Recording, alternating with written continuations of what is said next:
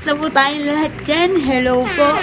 And welcome back po sa isa na naman natin video. And for tonight's video, yes guys, gabi na naman kasi sa umaga busy tayo and kanina, yes guys, kanina lang talaga ito nangyari.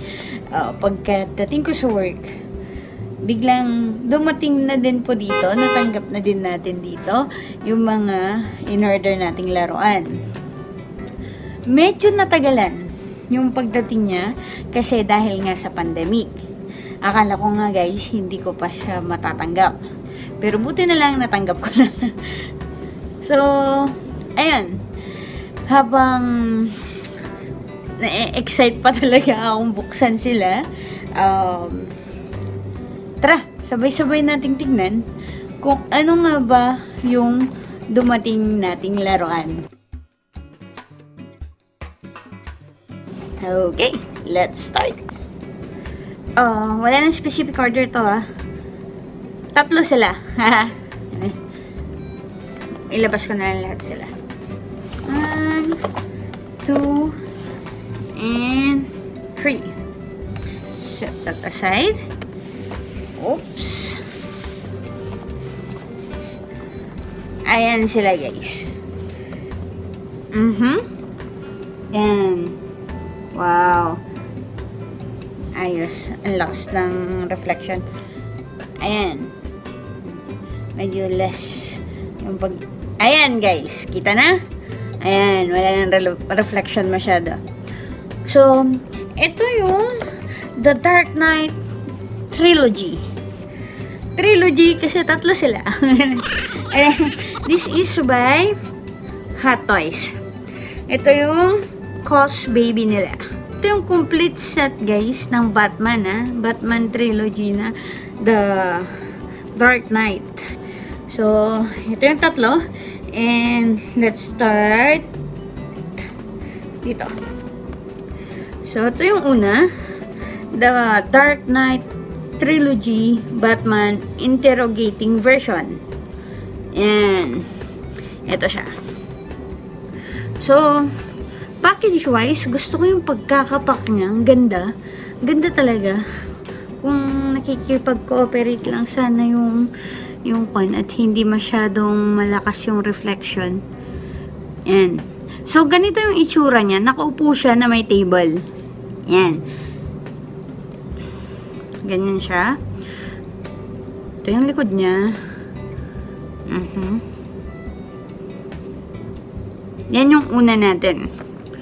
So, this is a 2020 uh, Cos Baby. Kaya nang sabi ko, ito yung pinaka-latest nilang um, Cos Baby ng Batman. Um, not recommended for ages 14 and below. So, maski 14 years old ka na, hindi pa rin recommended sa'yo, dapat maging 15 ka para maging recommended yung laruan na to sa'yo. So, this is a collectible toy and uh, hot toys. You know, hot toys really make toys real hot. really, maganda talaga siya. Yun guys, this is the first one. Ayan. Ito yung, this is the first one, the interrogating version. So, the next one is this one. Yan. The Batman. Uh, I mean, the Dark Knight Batman with sticky bomb gun. Huh? So, ito naman yung pangalawa natin. Yung Batman with sticky bomb gun. So, unlike sa first one natin, yung mata niya guys, may luminous effect. Reflective. Luminous reflective. So, ito na naman tayo.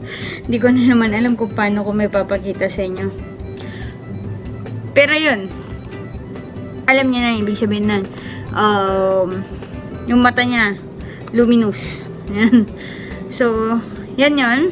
Ito, I mean, ito yon. Ganyan siya. So, ito yung baril niya. Sticky Bomb Gun. Nice piece, nice layout, nice box. Actually, ang ganda ng mga box niya. I'm loving the box. Good thing na nung dumating sila eh hindi UP yung mga box. Madalas kasi kapag mga ganito uh, UP, hindi kagaya ng mga Funkos na mas extra careful sila sa pag-ship. Pag mga ganito, okay lang siguro sa nila kasi feeling nila yung mga collector ng ganito. Uh, outside the box, outside the box naman nila ginagawa. So, ganun. Pero, ako kasi guys, to be honest, ito, ito na. Hindi ko siya bubuksan ngayon. Pinapakita ko lang guys. Uh, and, uh, kasi wala din naman tayo sa bahay talaga. Andito pa rin tayo sa hotel. And, um, ang hirap kapag time na para bumalik sa bahay. Ano, hassle. Na ibalik ulit sa box. Ganyan-ganyan. So, at saka, Ewan, gusto ko yung box kasi. Nagaganda na ako sa mga box niya. So, uh, ayoko na rin silang alisin sa box. So, hindi ko na din siya bubuksan. Ito na yung last natin kasi tatlo nga lang sila. Nabili natin. Ito yung Batman. The Dark Knight Trilogy Batman. Ayan. May hawak siyang batarang.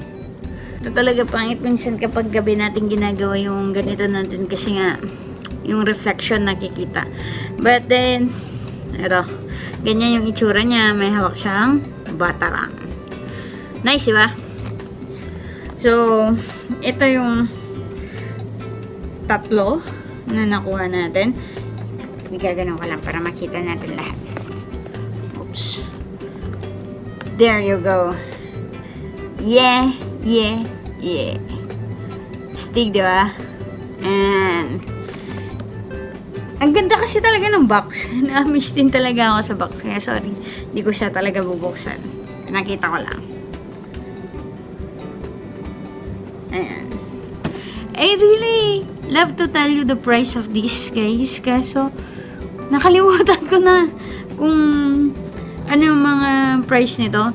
Pero, uh, naalala ko, ito at ito, the price is the same. But this one, yung may uh, luminous reflective effect, medyo mas mataas siya ng konti. So, again, these are the three Cos Baby uh, toys figurines na 2020 and from Hot Toys. O, diba guys? Ang ganda nila. So, yun guys. Yan yung tatlo nating at hindi nakikita. Ito yung tatlo natin na Cos Baby by Hot Toys. And, kailangan ko nang tapusin dito guys kasi dumating na din naman yung pagkain natin. And, um, alam niyo naman malakas kayo sa akin eh.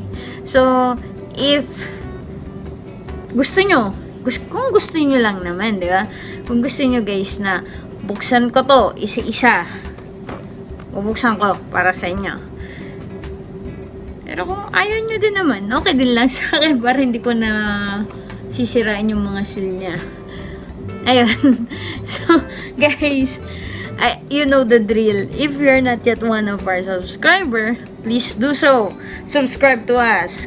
Kasi marami pang mga uh, laruan, reviews, etc. na mangyayari sa channel na to. And please, do share our videos, like, comment, and um, ring that bell para naman ma-notify ka kung may bago na kaming video para isa sa mga unang makapanood sa amin. At kita-kita kits ulit tayo guys sa susunod nating video. And this is Nitro once again saying thank you for watching. Have a nice night. Bye-bye.